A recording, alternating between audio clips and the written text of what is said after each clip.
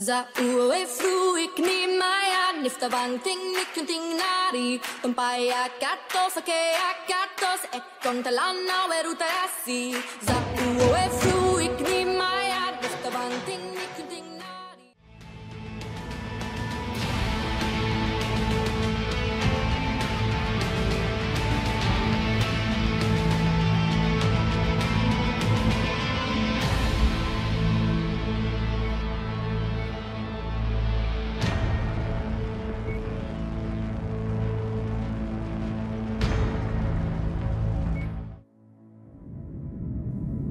In 2108, humanity began colonizing the stars. Their reach would eventually span a vast region of space known as the Inner Sphere. During its golden age, under the governance of the Star League, the Inner Sphere experienced unprecedented peace, prosperity, and technological advancement.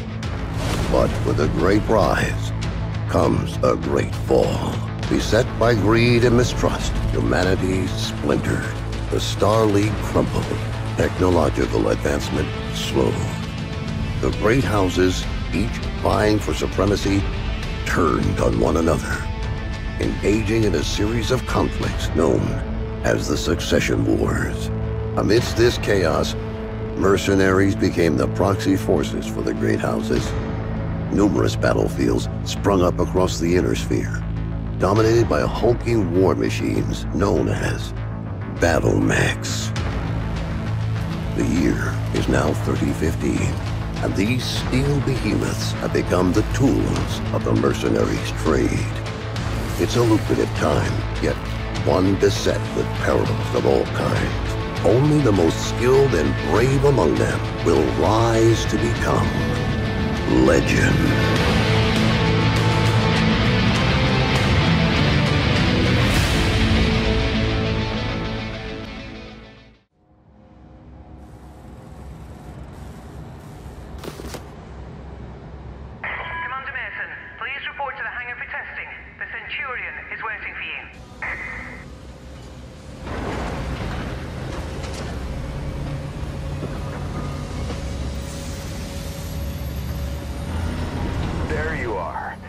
On, everyone's waiting.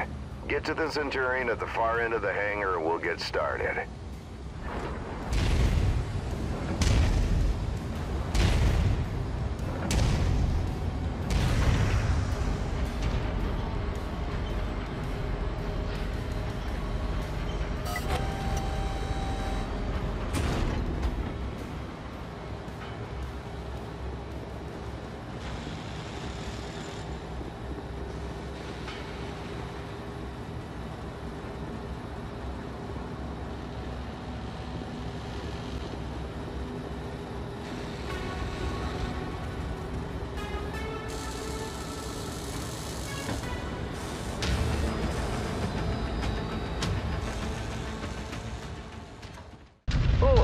What do you mean if the weapons work?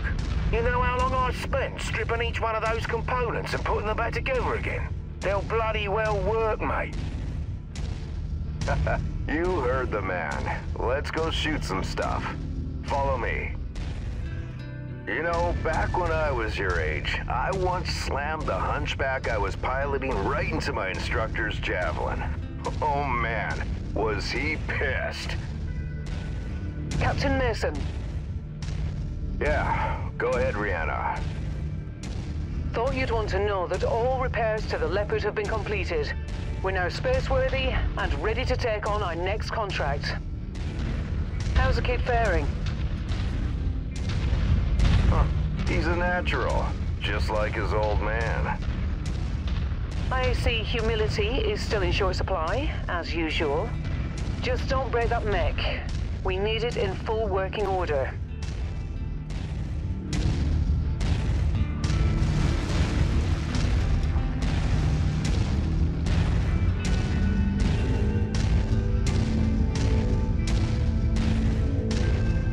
Weapon systems are now online, gents. Be gentle, hey? Always, my friend. Yeah, right. That's a load of bollocks, isn't it? All right. I've mapped the autocannon to Weapon Group 1. You're free to fire whenever you're ready.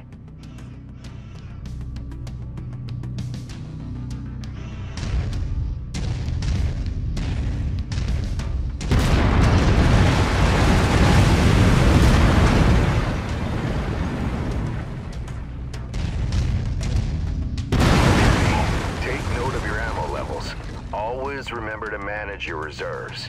You run out of shells in the middle of a firefight, it could be your last one. Lasers are mapped to Weapon Group 2. Fire them when ready.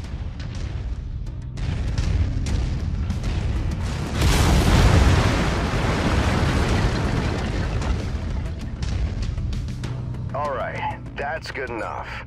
Those lasers generate significant heat. You can see the temperature readout next to your armor and structure display. All weapons generate heat when fired. You overheat your mech during a firefight, and, it could trigger a shutdown, so keep that in mind. Now for the fun stuff. Long-range missiles are set to Weapon Group 3. The target lock has been disabled for the moment, but never mind that. Just go ahead and fire at will. Well, as you can see, LRMs don't track unless you have a target lock on something. Yep, they're as dumb as a post without it. Let's try targeting a drone first, and this time before you fire your LRMs. Target acquired. Target. Makes a hell of a difference having that target lock, doesn't it? Next step is to test moving and firing at the same time. I've set up a series of aerial targets for you. Move through the aerial combat course as quickly as you can and shoot the drones down. I'll meet up with you on the other side.